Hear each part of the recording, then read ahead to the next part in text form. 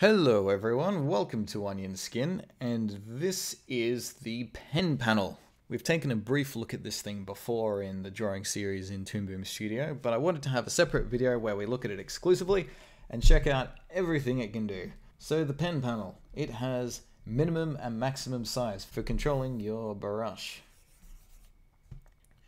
Notice down here, it will expand on the maximum and minimum size so you can get a feel for what you're getting for. It scrolls up to 100, but if you punch in something higher, I believe it does work. Yes, look at that. Cool. Remember that pressure sensitivity does not work for the pencil. So whatever the maximum size is set to, that's what you're going to get. The smoothness slider will add or subtract vertices to your stroke to keep it more true to the way that you physically drew it at the risk of wobbliness if that makes sense.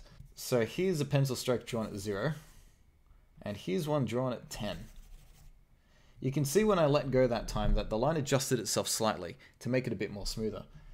And now if I select it with the contour editor, you can see the difference. The stroke on the left has only put a point at every major kind of corner, whereas here, like, oh man, there is a whole ton of them.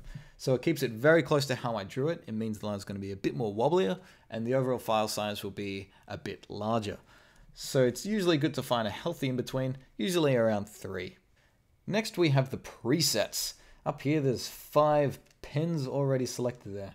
Notice when I select them with the brush, you can see a brush icon will appear, and if I do stuff with the eraser, uh, that will move around as well. What this means is the brush and the eraser can be set to two independent things at the same time. So I'm going to choose this big one up the top for the brush and this small one down here for the eraser.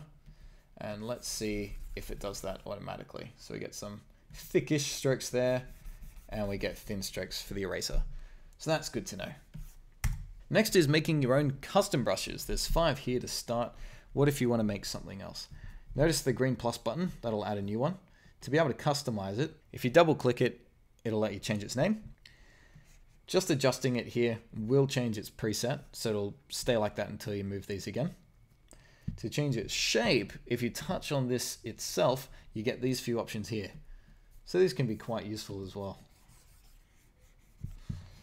So that's it. There's not really too much to say about the pen panel, uh, but make good use of it. It's a great feature. Any other questions, leave a comment. I'll be happy to answer them.